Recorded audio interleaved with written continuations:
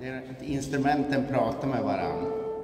Och så tar de en i taget och, och spelar en slinga och sen säger det andra instrumentet ja den där kan jag också och så spelar den och så de andra sitter med och hummar. Ja, ja, ja.